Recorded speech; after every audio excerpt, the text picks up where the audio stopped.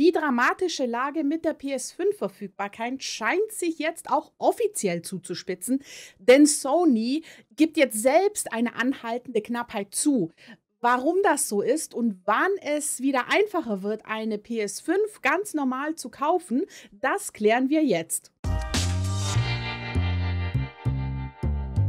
Und wenn ihr Bock habt auf noch mehr PS5, Games und Hardware-Themen, dann abonniert gerne den Kanal und aktiviert die Glocke, dann verpasst ihr nämlich nichts.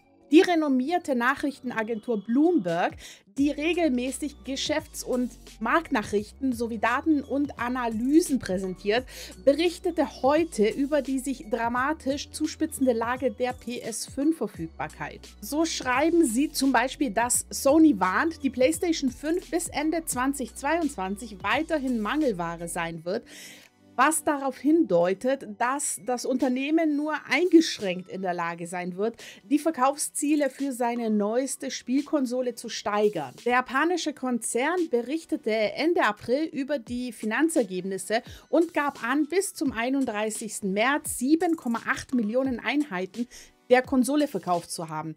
Im laufenden Geschäftsjahr sollen dann mindestens 14,8 Millionen Einheiten verkauft werden. Das wäre quasi analog zu den damaligen PS4-Verkäufen, die ja inzwischen mehr als 115,9 Millionen Einheiten verkauft hat. In einem Briefing erklärte dann Sony, es sei schwierig, mit der starken Nachfrage Schritt zu halten. Die PS5 war seit ihrer Veröffentlichung im November schwer erhältlich und was zum Teil auf Engpässe bei den Komponenten wie zum Beispiel die Halbleitern zurückzuführen ist. Und das Unternehmen hat keine offizielle Schätzung abgegeben, wann sich das Angebot dann auch normalisieren dürfte. Finanzvorstand Hiroki Totoki soll dann nach Angaben mehrerer Personen die in einem Meeting anwesend waren, allerdings darum gebeten haben, nicht genannt zu werden, da das Briefing nicht öffentlich war, gesagt haben, ich glaube nicht, dass sich die Nachfrage in diesem Jahr beruhigt, selbst wenn wir im nächsten Jahr viel mehr Geräte sichern und viel mehr Einheiten der PlayStation 5 produzieren, könnte das Angebot die Nachfrage nicht aufholen. Ein Sony-Sprecher lehnte allerdings eine offizielle Stellungnahme ab. Sony kündigte dann an, bis zu 200 Milliarden Yen, das sind dann quasi 1,8 Milliarden US-Dollar, was ungefähr 1,3 Milliarden Euro entsprechen würde, seine eigenen Aktien zurückzukaufen, nachdem ein Gewinn für das Märzquartal gemeldet wurde. Es wurde aber auch prognostiziert, dass das Betriebsergebnis im laufenden Geschäftsjahr um rund 4% sinken wird.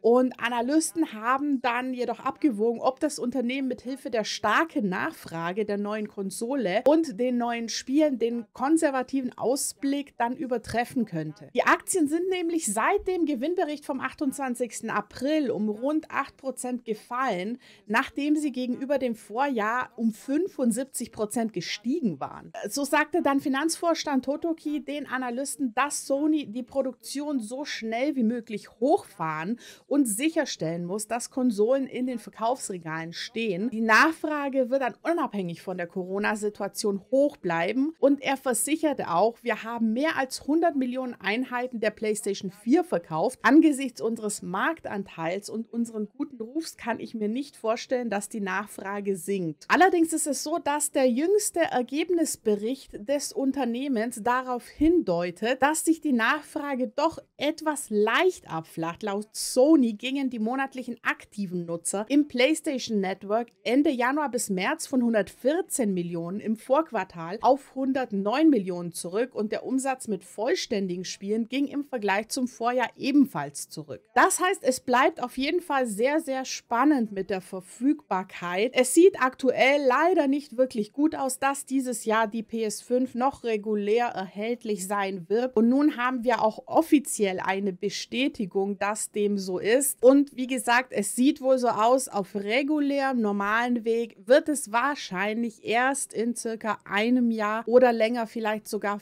möglich sein, die PlayStation 5 zu kaufen. Bis dahin bleibt leider nur dranbleiben, dranbleiben, dranbleiben und versuchen mit möglichst ein paar Tipps und Tricks, die ihr euch hier auf meinem Kanal auch anschauen könnt, eine PS5 noch zu ergattern. Ich drücke euch die Daumen, dass es klappt und wenn euch das Video gefallen hat, lasst gerne gerne einen Daumen nach oben und ein Abo da. Wir sehen uns beim nächsten Mal. Macht's gut.